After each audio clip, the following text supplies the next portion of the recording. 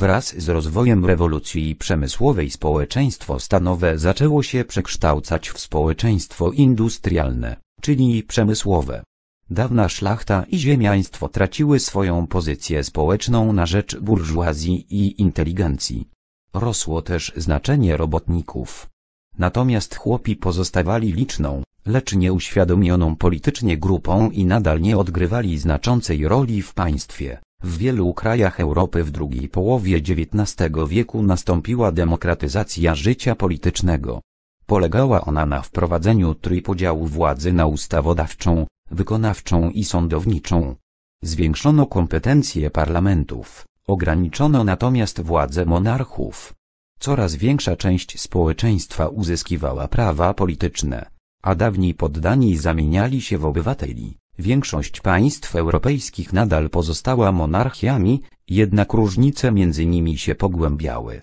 W Rosji wciąż panował absolutyzm. W Europie Zachodniej rosła natomiast liczba monarchii parlamentarnych. Wzorcowym przykładem tego ustroju była Wielka Brytania, w której silną pozycję miały rząd i parlament. Systematycznie poszerzano tam grupę społeczeństwa posiadającą prawa wyborcze. W części państw europejskich stopniowo umacniał się system republikański. Przykładem była Francja, gdzie w 1871 roku ostatecznie zrezygnowano z monarchii, wprowadzono republikę i uchwalono nową konstytucję. Na czele państwa stanął prezydent, wybierany przez parlament na siedmioletnią kadencję. Parlament był z kolei wyłaniany w wyborach powszechnych, w których mogli wziąć udział wszyscy mężczyźni. W drugiej połowie XIX wieku robotnicy stanowili znaczącą siłę społeczną. Środowisko to było jednak podzielone pod względem celów i metod działania.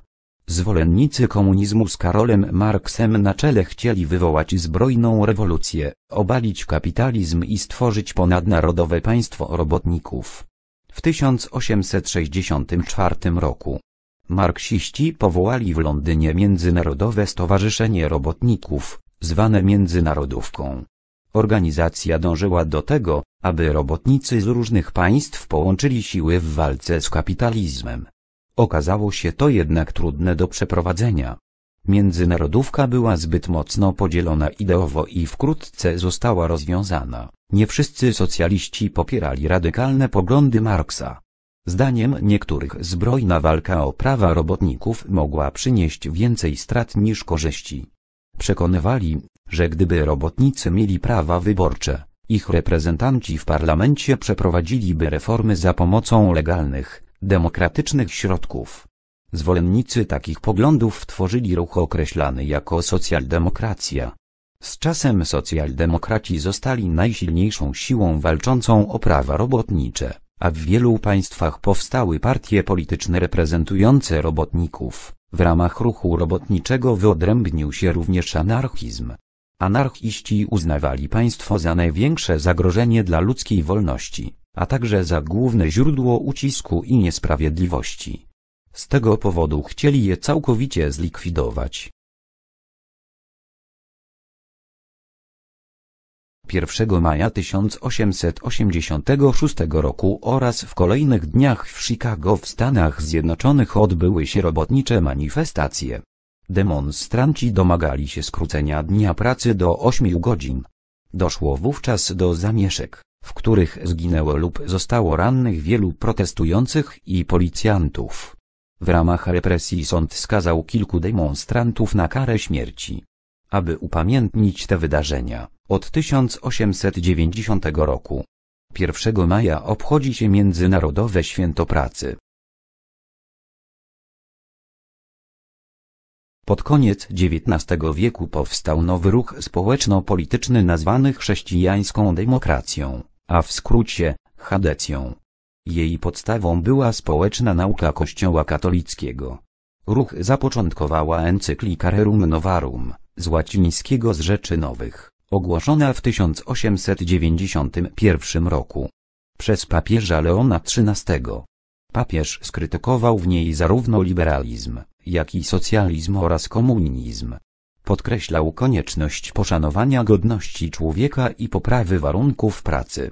Nawoływał też przedstawicieli różnych klas do współpracy. W XIX wieku rozwinął się również nowoczesny nacjonalizm. Zdaniem jego przedstawicieli dobro narodu jest najważniejsze i powinny mu zostać podporządkowane interesy jednostek, grup społecznych czy społeczności regionalnych. Z czasem ruch nacjonalistyczny stawał się coraz bardziej radykalny. Skrajni nacjonaliści, szowiniści, zaczęli dzielić narody na lepsze i gorsze. Silniejszym przyznawali prawa, a słabsze miały być ich pozbawiane. Wraz z rozwojem nacjonalizmów w Europie rosła niechęć do mniejszości narodowych, a zwłaszcza do Żydów. W odpowiedzi zaczął się kształtować żydowski nacjonalizm, nazywany syjonizmem. Zgodnie z jego założeniami Żydzi powinni dążyć do utworzenia własnego państwa w Palestynie. Wojna o niepodległość Stanów Zjednoczonych i rewolucja francuska zmieniły sytuację na świecie. Pod wpływem przemian społecznych i postępującej demokratyzacji różne grupy społeczne, w tym kobiety, chciały umocnić swoją pozycję w życiu publicznym.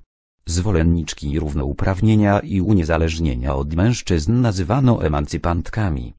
Do ich głównych postulatów należały dostęp do wyższego wykształcenia, zmiany w prawie rodzinnym, równouprawnienie ekonomiczne, zdobycie praw wyborczych przez kobiety. Spośród postulatów emancypantek kobiety najwcześniej wywalczyły możliwość studiowania na wyższych uczelniach. Pierwszą kobietą z tytułem profesora była Polka Maria Skłodowska-Curie. Zaszczytny stopień naukowy przyznała badaczce paryska Sorbona w 1906 roku. Najtrudniejsze dla zwolenniczek równouprawnienia okazało się uzyskanie praw wyborczych. Walczyły o to sufrażystki. Dzięki nim, mimo oporu konserwatywnej części społeczeństwa, kobiety powoli zdobywały prawo głosu w kolejnych krajach i regionach.